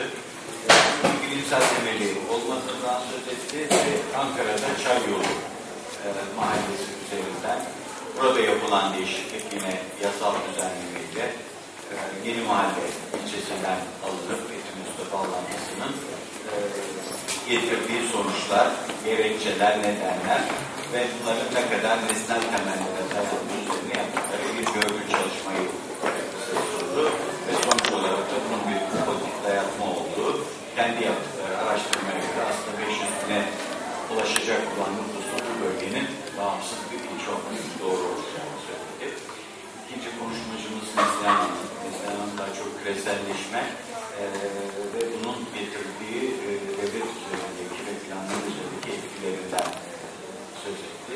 E, farklı e, kuramlar öncelikle kısaca özetlendi. Yerelleşme, küreselleşme, demokratikleşme ilişkisinin e, böyle doğrusal bir ilişki olmadığı esas olanın aslında e, ölçek meselesi değil, sınıfsal ilişkiler var. Yine e, son dönemin yönetişim anlayışı, bunun neoliberyal, e, rebelyan bir e, model olduğu üzerinde e. Devletin küçülmesi, e, işlemlerin yasalaştırılmasının esas olduğu e, ve kalkınmacı ve hizmet sunan devlet anlayışından e, farklı bir modele geçildiğini belirttikten sonra da e, kalkınma planlaması ve stratejik planlama ilişkisi üzerinde, farklı üzerinde durdu. Oradan giderek de e, planlamada kapsamlı planlama ve stratejik planlama e, arasındaki ayrımlardan söz etti. E, ben orada tabii küçük saptama yapmak durumundayım. Özellikle e, uygulama planları düzeyinde de stratejik planlama yapılması gerektiği görüşüne katılmıyorum.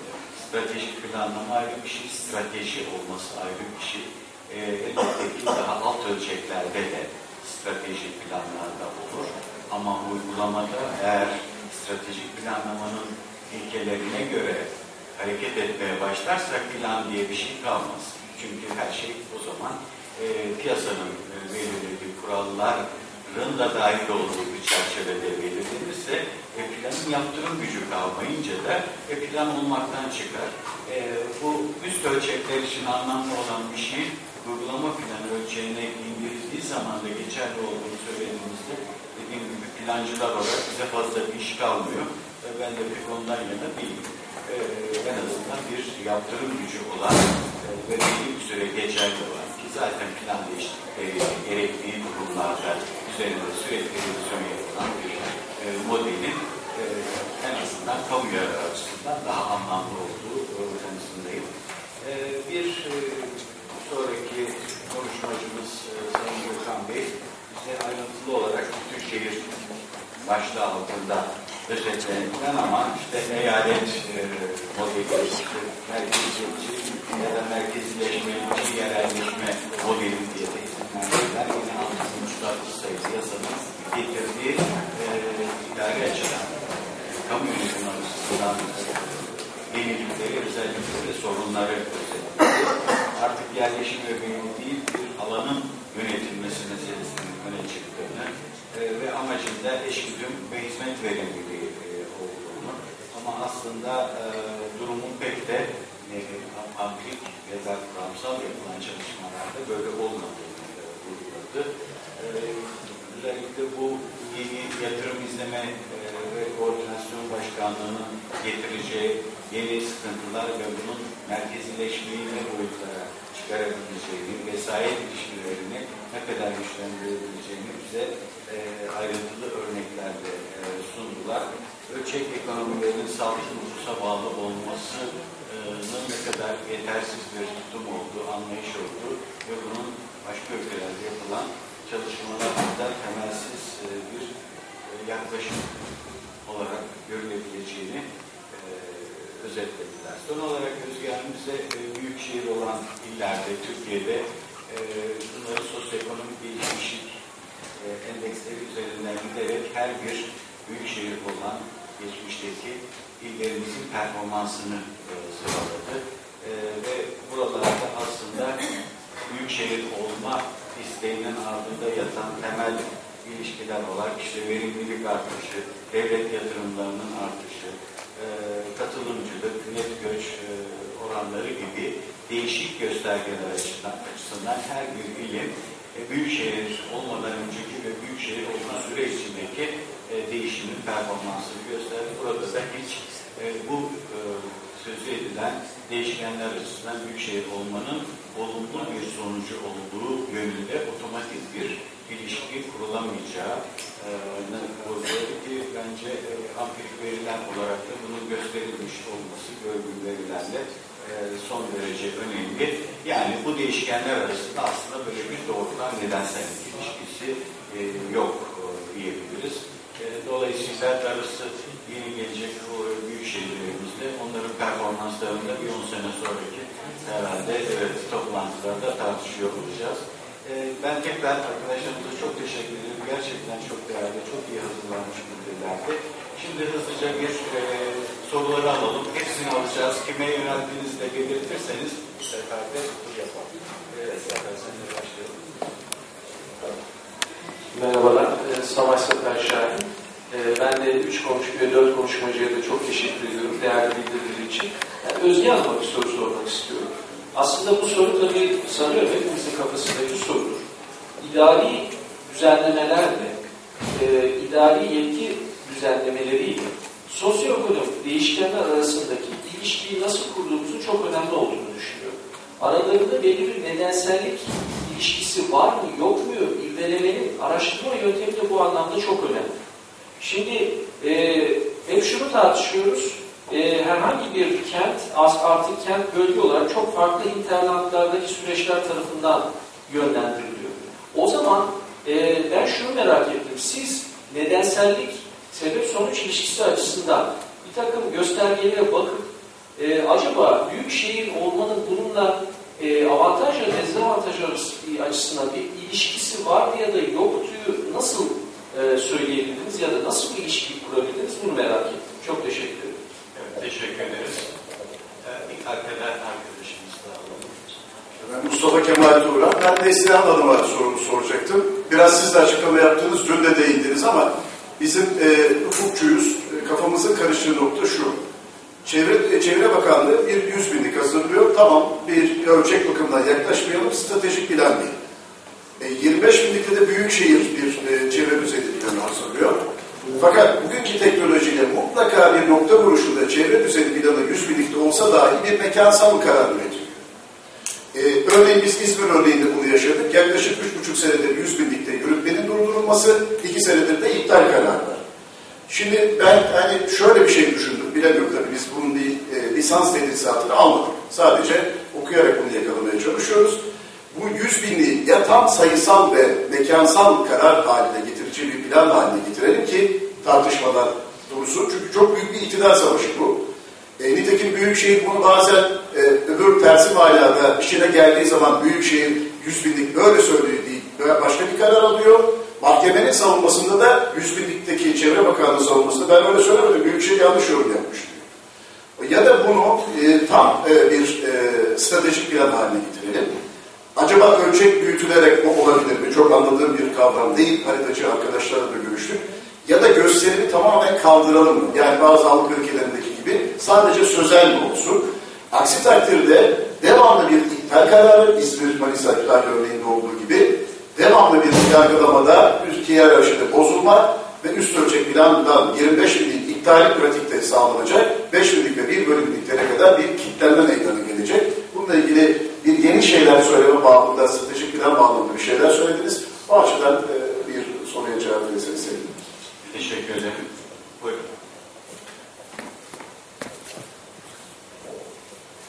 Şahit Günaydın, kurumsal sürdürülebilirlik uzmanıyım. E, bu sağlıklı kentler, e, belediyeler birliği anlamında belediyelerle de çalıştık.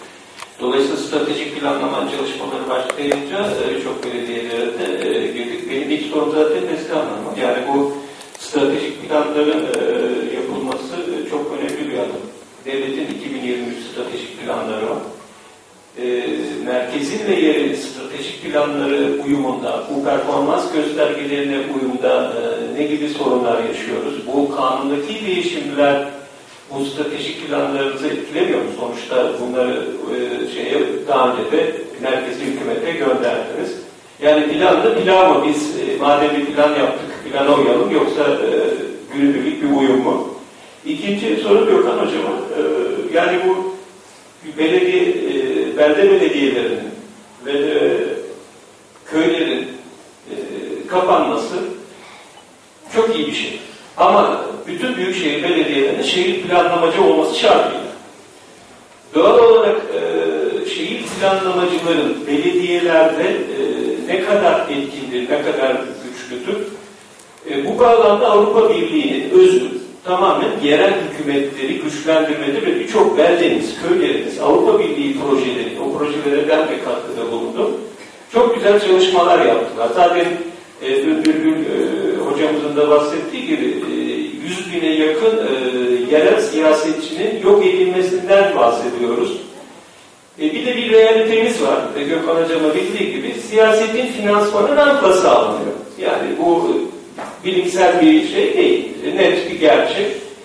Doğallıkla siyasetin finansmanının rantla sağlanmasıyla Avrupa Birliği'nin yerel yönetimleri güçlendiren kanunlarıyla biz bu kanunu Avrupa Birliği'ne mi başvurabiliriz? Çünkü Anayasa Mahkemesi'nden değiştiremeyeceğiz. Bugünkü toplantı, geçen hafta yapılan İzmir e, İktisat Kongresi'nden çok daha önemli. Çok ciddi bir dönüşüm yaşanıyor. E, doğal olarak e, bütün şehir planlamacıları, belediyelerinde, üniversiteleriyle e, genç kardeşliğin yaptığı gibi büyük şehir olmak, mega köy olmak. İstanbul'da yaşıyorum ben, kahroluyorum. Mega köy yani Levent'te, e, Mecidiyeköy'de yürüyemiyorsunuz, ulaşamıyorsunuz, iş yapamıyorsunuz. E, bir yandan da Bülent dediği oldu. Köy kent yapacakta bütün e, megapollerimiz mega köy oldu. E, bu anlatışla e, Gökhan Hocama yani siyasetin gerçeğini de kabul etmemiz lazım. Siyasetin fiyatı finansmanı rahatla sağlıyor. Ama bu yapı e, Avrupa Birliği'nin tamamen uyum yasalarına da aykırı. Bunun bir orta yolu bulunabilir mi? Pratik, realistik anlamda bakmak lazım. Neslihan Hanım'a da yani Ee, bu belediye başkanlarımız şehir plancıları dinliyor mu? Bu stratejik planlar var. Ee, işte bir Eskişehir örneği var. Ben olumlu gözlemliyorum. Ee, Toparlarsak yalnız. Peki. İlk soru bu kon- konseptteydi. Sağ olun. Teşekkür ederim. Buyurun.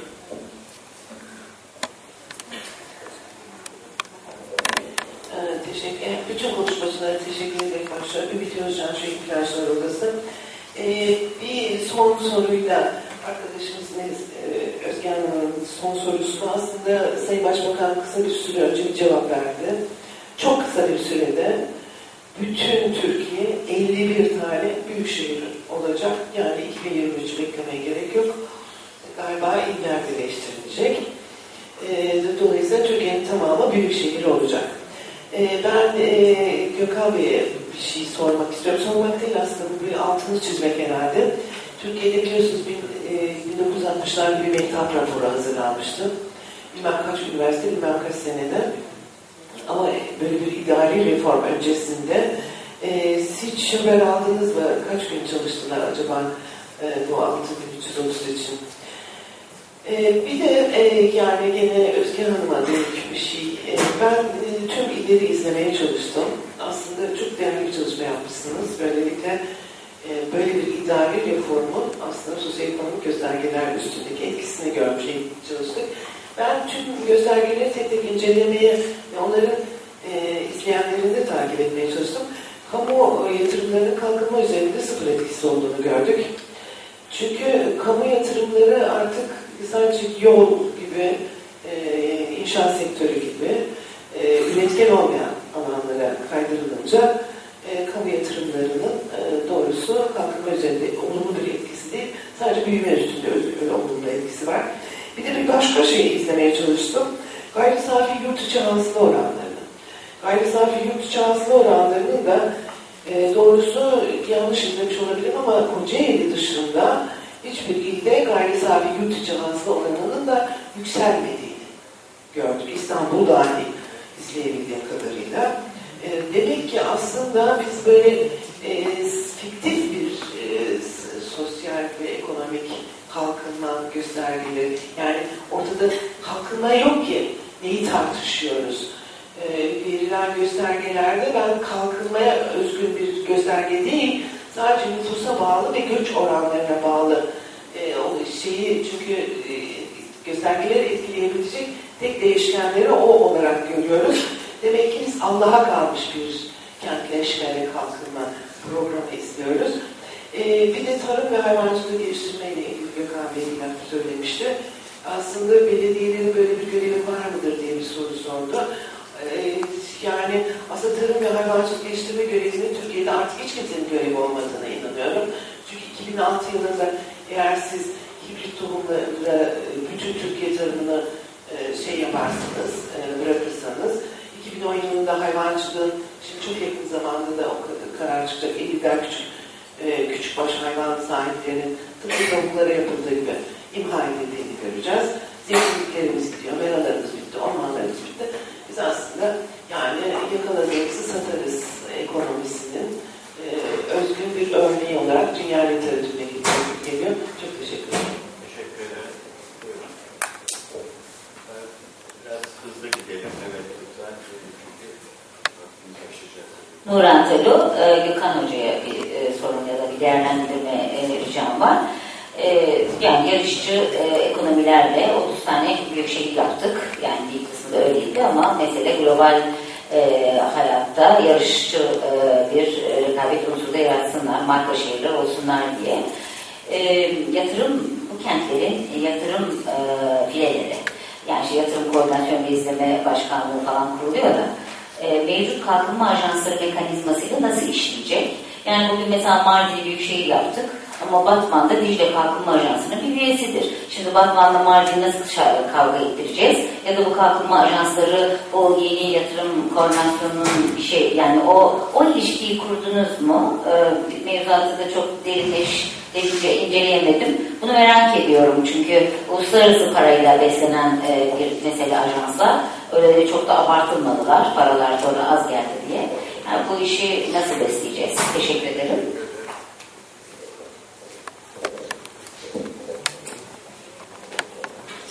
Zeki Yıldırım. E, Leysa Hanım'a bir sorum olacaktı.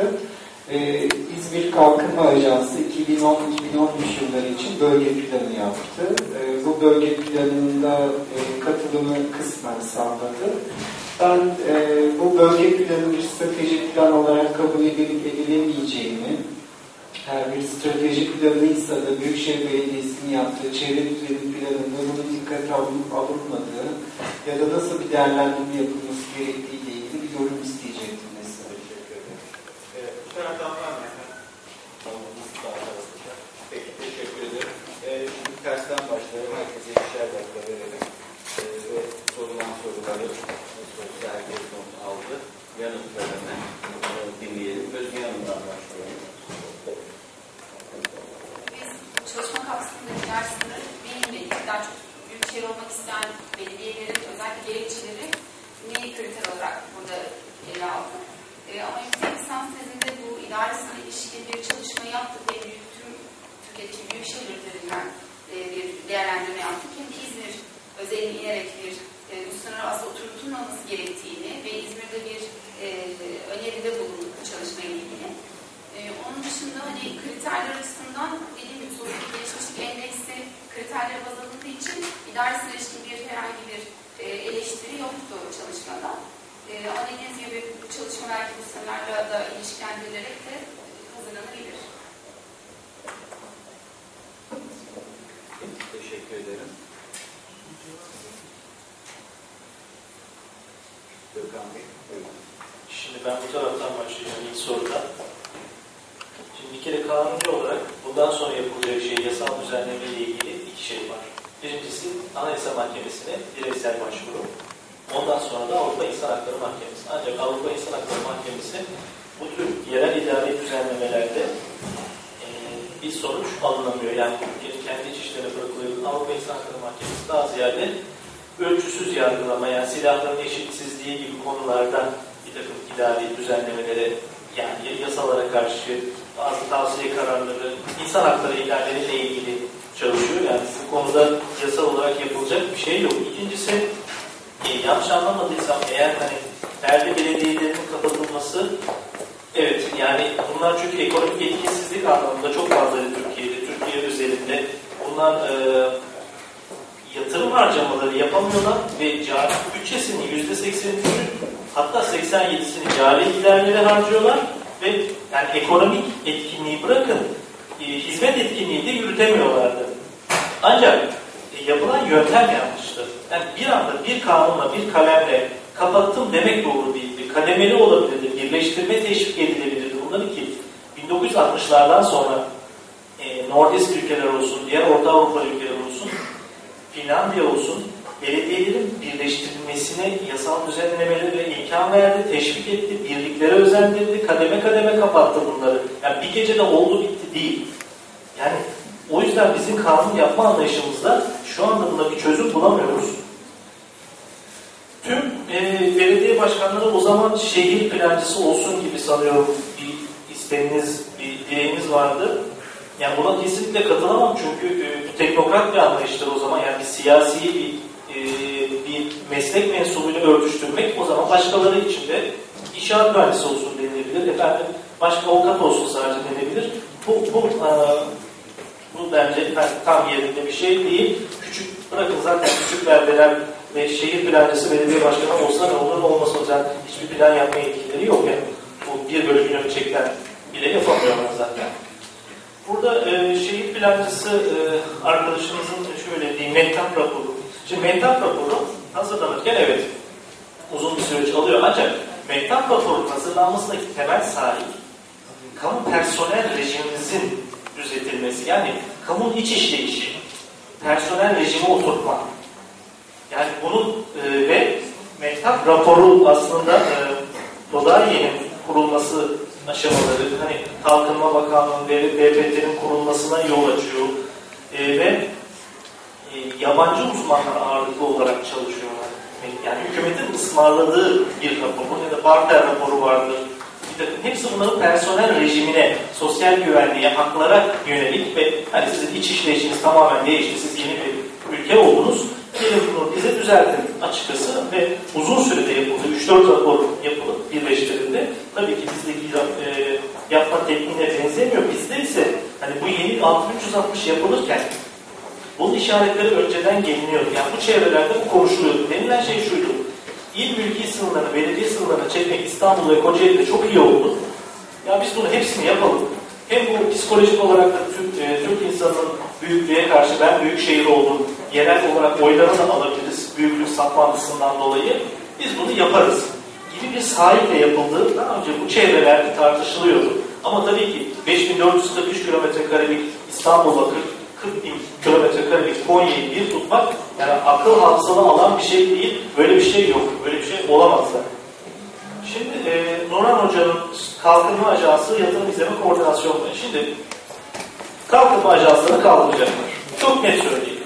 Kalkınma ajansları kaldırdı. Bunun ayak izleri geldi. 6666 sayılı KYG'de eşit işe eşit ücret yasasıyla burada çalışan uzmanların maaşlarını bir kere düşürdüler. Bu geliyordu. Ve bunlar üniversitede diğer kurumlara gitmeye başladılar. Burada yetkinsiz çalıştıklarını söylüyorlar. Ve birkaç ilden oluşan düzeylerin birbiriyle çatışması yani o zaman ilçe çevre düzeni planını uygulayacağız, kalkınma planını uygulayacağız? Hani tek TR 21'den oluşan İstanbul'da ya da 13'lü sanıyorum bir sorun yok ama eğer bu plan e, çevre düzeni planı bakanlıkça yapılan e, 100 bin ölçekli falan diyelim e, kalkınma ajansı planıyla plan kademeleri açısından nasıl uyumlaşacak? Yani böyle bir hiyerarşi, bir yaptırım var mı? Zaten bir sorun yaratacaktı ve zaten ithal bir modeldi bize kalkınma ajansları. Zaten adı da benziyor. Yatırım İzleme Koordinasyon Başkanlığı. Hop değiştiririz, adını o yaparız. Olur, olur biter. Bir anlayış var. Ee, bunları bekleyip göreceğiz ama kalkınma ajansları uzun ömürlü olduğunu zannetmiyorum. Teşekkür ederim.